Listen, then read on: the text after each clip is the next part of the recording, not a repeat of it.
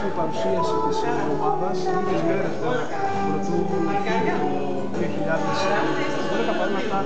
Είναι η χρονιά της εξέλιξης μια δύσκολη χρονιά όπως είναι η όλες Είναι σίγουρα είναι μια δύσκολη χρονιά, δεν είναι μόνο για, το, για την ομάδα μας, είναι για όλη την χώρα γενικότερα.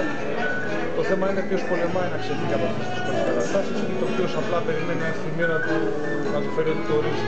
Εμείς είμαστε μαχητές, έχουμε σε μια ομάδα η οποία είναι φυσική θέση μάχημη από την διοίκησή της μέχρι τον τελευταίο δίλατο. Άρα οι παίχτες ακολουθούν αυτό το μοτίβο που είμαστε μαχητές, θα κοιτάξουμε να φέρουμε την ομάδα εκεί που θέλουμε να τη φέρουμε, να τους κάνουμε τους περήφανους. Και αυτό χρειάζεται να μας πάρει ένα χρόνο ακόμα, δεν ξέρω και πόσο η ομάδα αυτή πρέπει να γυρίσει εκεί πέρα το χρόνο.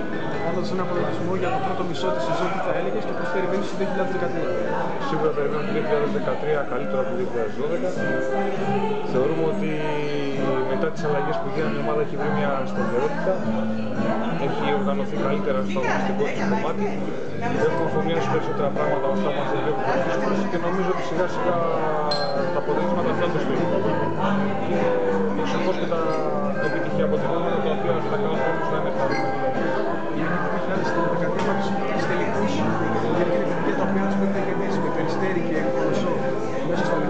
Και διάμεσα με Καβάλα εκτός. Θεωρώ ότι δεν είναι μόνο οι τρεις τελικοί που ξεκινάνε το 2013, για μας κάθε παιχνίδι τελικός είναι.